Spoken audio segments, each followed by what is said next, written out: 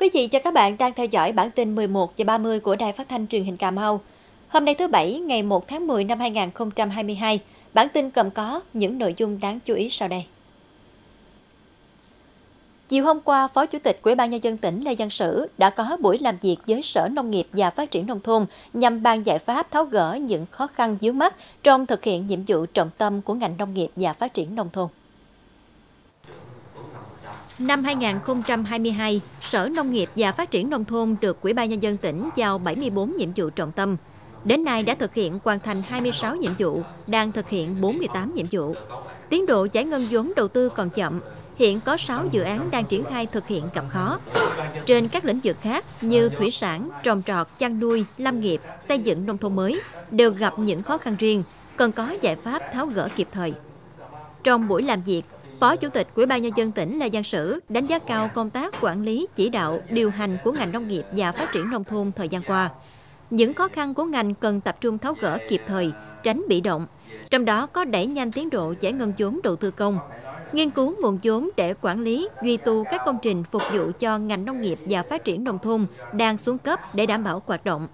cần tổ chức lại sản xuất, trong đó chú ý đến việc ứng dụng và chuyển giao khoa học công nghệ vào sản xuất, nhân rộng những mô hình sản xuất có hiệu quả. Quan tâm sắp xếp lại tổ chức bộ máy của ngành để đảm bảo hoạt động có hiệu lực hiệu quả trong thời gian tới. Đẩy nhanh chuyển đổi số trong lĩnh vực nông nghiệp và phát triển nông thôn để từng bước xây dựng nền nông nghiệp hiện đại, hoạt động hiệu quả. Thưa quý vị, hình thức nuôi tôm thẻ chân trắng trong vuông tôm quảng canh và vuông tôm lúa được bà con thực hiện tự phát trong nhiều năm nay. Diện tích ngày càng tăng ở các địa phương trong tỉnh Cà Mau. Việc phát triển nuôi tôm thẻ chân trắng không theo quy hoạch, không có sự quản lý của nhà nước, đã nhiều tác động trực tiếp đến môi trường nuôi trồng thủy sản. Sau nhiều năm thả nuôi tôm thẻ chân trắng, ông Quỳnh Úc Nguyên ở ấp 3, xã Trí Phải, huyện Thới Bình cho biết, xét về giá trị thì tôm thẻ không bằng tôm sú. Tuy nhiên, tỷ lệ sống của tôm thẻ cao hơn rất nhiều, ước có thể đạt trên 80%. Chỉ cần nuôi chưa tới 2 tháng, tôm thẻ đã cho thu hoạch. Trong khi đó, nuôi tôm sú phải mất từ 3 đến 4 tháng. Thời gian cho thu hoạch ngắn, lợi nhuận mang lại cao, khiến nhiều hộ dân bất chấp quy định để thả nuôi tôm thẻ chân trắng. Ở đây thì có sản xuất thì uh, nuôi là con tôm với bây giờ có uh, vận động với bà con cái mô hình là nuôi tôm, cua, cá các loại. Yeah chứ quy hoạch từ trên thì cũng chưa phải không? Chưa. À, chưa cụ thể. Ừ. Địa phương thì vận động với bà con đó thì trồng lúa, à, nuôi tôm trồng lúa nhưng bà con nghe ừ ừ vậy có người cũng nuôi người cũng có người cũng trồng lúa, người không có trồng lúa nó trồng lúa năm nay không có lời, phân giờ tới triệu mấy. Ừ.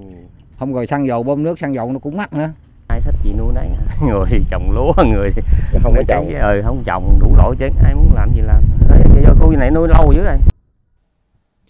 Tuy nhiên, theo một số hộ dân, sau nhiều năm thả nuôi tôm thẻ chân trắng theo dạng tự nhiên cũng có những khó khăn. Khi nuôi tôm thẻ chân trắng ở những vụ đầu tiên thì nhờ môi trường còn tốt, thức ăn trong các ao nuôi tôm sú trước đây phong phú, nên tôm thẻ lớn nhanh và rất đạt về trọng lượng. Tuy nhiên, trải qua vài vụ nuôi thì sau đó các ao tôm gần như không còn thức ăn, tôm thẻ dạng tự nhiên trở nên chậm lớn ở môi trường ô nhiễm. Ở đây thì à, nói chung là đầu tiên thì cũng đồng loạt lắm tại vì đó là tôm lúa năm nào cũng làm. Mà có cái, cái tình trạng như mấy năm nay thì cái vùng này là do nó nhiễm mặn mình nuôi lâu lâu ngày đó. Chứ dân đại số là nuôi cũng thăm canh nuôi chủ yếu là con tôm không à. Nuôi tới đó người ta không rửa thành ra là cái lúa nó không có cái lợi nhuận nó không có cao nhầm người cấy nhầm người không. Theo khuyến cáo của ngành chuyên môn thì người dân tuyệt đối không nên nuôi tôm thẻ chân trắng trong các vuông tôm quảng canh và tôm lúa.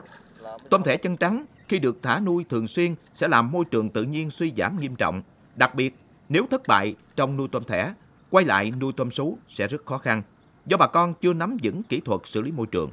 Mặt khác, tôm sú đã khẳng định được giá trị bền vững và là thế mạnh của địa phương. Vì vậy, người dân không nên chạy theo cái lợi trước mắt sẽ dẫn đến những hậu quả khó lường về lâu dài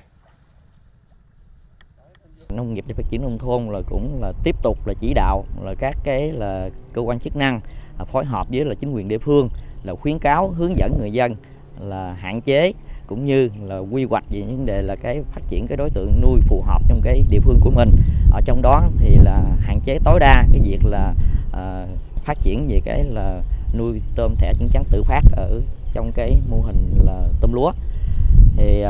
cái việc đó thì à, ngành nông nghiệp và phát triển nông thôn là cũng là phối hợp với các viện, trường là đang tìm ra những cái phương án là phù hợp để là đưa ra những chính sách để là phát triển, là quy hoạch vùng nuôi làm sao để cho là đạt được cái hiệu quả tốt nhất trong thời gian sắp tới. Thì à, tỉnh là cũng đã là gà sót và đã có là định hướng à, cho cái à, những cái nơi là phù hợp và đã xin ý kiến của là Bộ Nông nghiệp và Phát triển nông thôn là hiện nay thì Bộ Nông nghiệp và Phát triển nông thôn cũng là đang là chỉ đạo các cái à, cơ quan chức năng là đang là à, gà soát lại những cái vùng nào phù hợp thì sẽ là có những cái văn bản là chỉ đạo ở địa phương để là quy hoạch lại cái vùng nuôi cho nó đạt được hiệu quả để định hướng cho bà con mình trong thời gian sắp tới.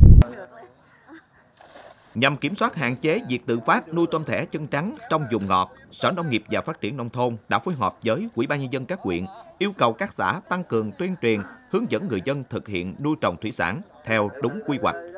Theo chủ trương của Bộ Nông nghiệp và Phát triển Nông thôn, tôm thẻ chân trắng chỉ được nuôi với hình thức thăm canh và bán thăm canh. Hôm qua, Trung tâm Khuyến nông tỉnh Cà Mau kết hợp với Phòng Nông nghiệp và Phát triển Nông thôn quyền Cái Nước tổ chức tập huấn triển khai kế hoạch phối hợp với doanh nghiệp xây dựng dùng nguyên liệu tôm hữu cơ, tôm sinh thái và tôm an toàn thực phẩm tại xã Hòa Mỹ. Tham gia lớp tập quấn có hơn 50 nông dân là thành viên hợp tác xã dịch vụ thương mại và nuôi trồng thủy sản Cái Bát và bà con nông dân trên địa bàn xã Hòa Mỹ, huyện Cái Nước. Bà con được triển khai đề án nông nghiệp hữu cơ được chính phủ phê duyệt và kế hoạch phát triển sản xuất nông nghiệp hữu cơ tỉnh Cà Mau giai đoạn 2020-2025. Khảo sát chọn dùng nguyên liệu triển khai đề án, hướng dẫn kỹ thuật nuôi tôm hữu cơ, tôm sinh thái và tôm an toàn sinh học thông qua đề án nông nghiệp hữu cơ nhằm tạo ra dùng nuôi tôm nguyên liệu đạt tiêu chuẩn xuất khẩu, gia tăng giá trị tôm nuôi, giúp bà con nông dân tăng thu nhập, thúc đẩy kinh tế địa phương phát triển. Hiện nay, giá cua giống trên địa bàn huyện Ngọc Hiển sụt giảm gây khó khăn về đầu ra và ảnh hưởng đến thu nhập của các hộ làm nghề ương cua giống trên địa bàn. Theo các hộ làm nghề ương cua giống cho biết, do bước vào mùa cải tạo vuông nên nhu cầu thả nuôi cua ít lại. Bên cạnh đó, thời điểm này mưa nhiều nên hộ nuôi cũng chưa mạnh dạng thả giống nối vụ, dẫn đến đầu ra chậm hơn trước. Giá cua giống cũng từ đó sụt giảm. Hiện cua tiêu có giá 280 đồng một con, cua dưa 400 đồng một con, cua me 500 đồng một con, giảm từ 100 đồng đến 150 đồng một con so với tháng trước. Quyền Ngọc Hiển có hơn 100 cơ sở ương cua giống trung bình mỗi năm cung ứng cho thị trường khoảng 1,6 tỷ con giống. Những năm qua, nghề ương cua giống đã giúp cho nhiều hộ dân trên địa bàn có thu nhập ổn định, giải quyết được việc làm cho lao động địa phương. Thực hiện ý kiến chỉ đạo của Sở Giáo dục và Đào tạo tỉnh Cà Mau, thời gian qua phần lớn các đơn vị trường học đã triển khai thực hiện nghiêm túc các khoản thu đầu năm học. Tuy nhiên, qua theo dõi phản ánh của dư luận, một số đơn vị trường học đã tổ chức thu, dự kiến thu một số khoản thu chưa đúng theo quy định hiện hành.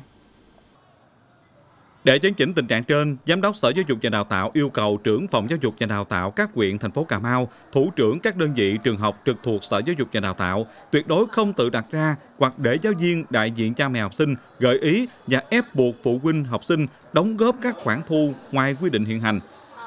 Bên cạnh đó, phối hợp chặt chẽ với ban đại diện cha mẹ học sinh trong việc thu các khoản thu, quản lý sử dụng kinh phí hoạt động, tuyệt đối không để ban đại diện cha mẹ học sinh vận động các khoản thu sử dụng kinh phí trái quy định. Ban đại diện cha mẹ học sinh không được thu những khoản thu như bảo vệ cơ sở vật chất của nhà trường, bảo đảm an ninh nhà trường, trông coi phương tiện tham gia giao thông của học sinh, vệ sinh lớp học, vệ sinh trường, khen thưởng cán bộ quản lý, giáo viên, nhân viên nhà trường, mua sắm máy móc trang thiết bị, đồ dùng dạy học cho trường, lớp học hoặc cho cán bộ quản lý, giáo viên và nhân viên nhà trường, hỗ trợ công tác quản lý, tổ chức dạy học và các hoạt động giáo dục, sửa chữa, nâng cấp, xây dựng mới các công trình của nhà trường. Đối với các nguồn viện trợ, tài trợ, quà biếu tặng các đơn vị trường học thực hiện nghiêm túc theo quy định hiện hành. Song song đó, khẩn trương rà soát kiểm tra việc thực hiện các khoản thu đầu năm theo các văn bản của Bộ Giáo dục và Đào tạo, Ủy ban nhân dân tỉnh, Sở Giáo dục và Đào tạo, xử lý nghiêm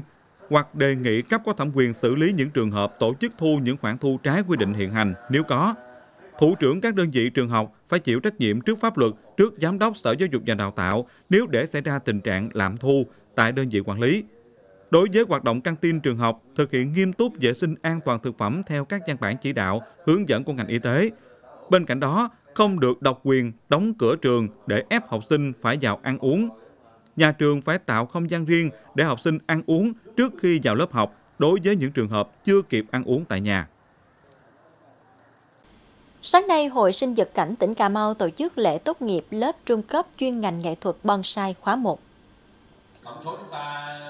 Lớp học có 33 học viên. Qua 2 tháng học thực hành, các học viên được truyền đạt chia sẻ nhiều kinh nghiệm, kiến thức cơ bản như kỹ thuật trồng cây cảnh, trị bệnh và phòng bệnh cho cây qua kiển,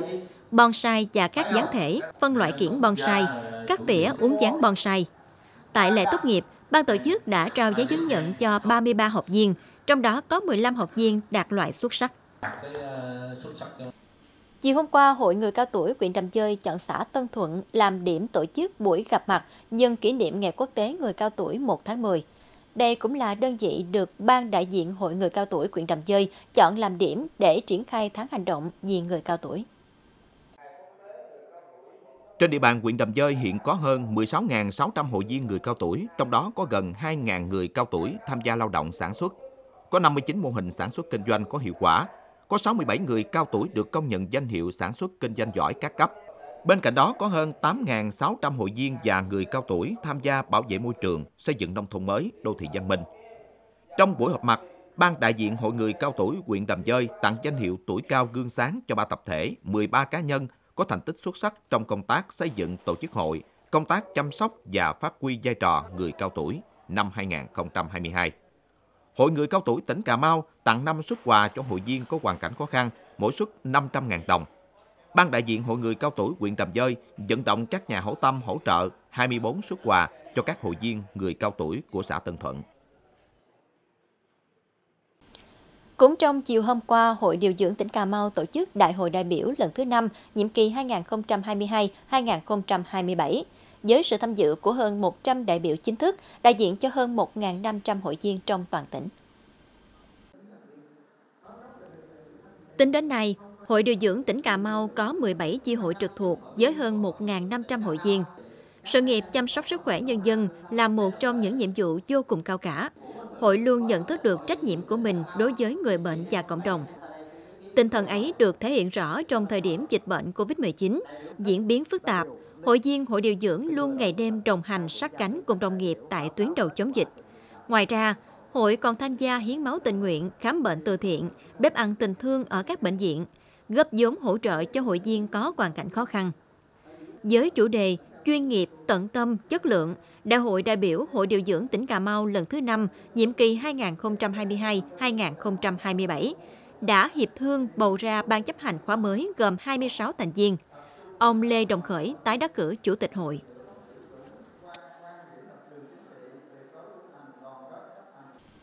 Hôm qua, Cơ quan Cảnh sát điều tra Công an tỉnh Cà Mau thực hiện lệnh bắt bị can để tạm giam 4 tháng đối với Trương Trung Tính, sinh năm 1975, cư ngụ ấp Bà Điều, xã Lý Văn Lâm, thành phố Cà Mau, về tội lạm dụng tín nhiệm chiếm đoạt tài sản. Trước đó, vào tháng 12 năm 2018, ông Võ Đăng Khoa có đơn hàng cung cấp cá đông lạnh cho công ty Grab House Hoa Kỳ. Ông Khoa nhờ danh nghĩa công ty trách nhiệm hữu hạn xuất nhập khẩu thủy sản Trung Tính do Trương Trung Tính làm giám đốc ký hợp đồng kinh tế và cung cấp đủ đơn hàng cá đông lạnh cho công ty Grab House. Đến ngày 3 tháng 9 năm 2019, công ty Grab House đã chuyển số tiền tương đương gần 1,6 tỷ đồng tiền Việt Nam vào tài khoản ngân hàng của công ty trách nhiệm hữu hạn xuất nhập khẩu thủy sản Trung Tính do Trương Trung Tính làm chủ tài khoản để thanh toán đơn hàng của ông Võ Đăng Khoa. Sau khi nhận tiền, Trương Trung Tính đã chiếm đoạt số tiền trên sử dụng vào mục đích cá nhân mà không đưa lại cho ông Khoa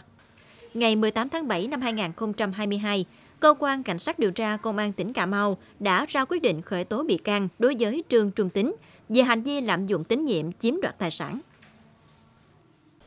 Bản tin 11 giờ 30 của Đài Phát thanh Truyền hình Cà Mau đến đây xin được khép lại. Cảm ơn quý vị và các bạn đã dành thời gian quan tâm theo dõi. Kính chào tạm biệt và hẹn gặp lại.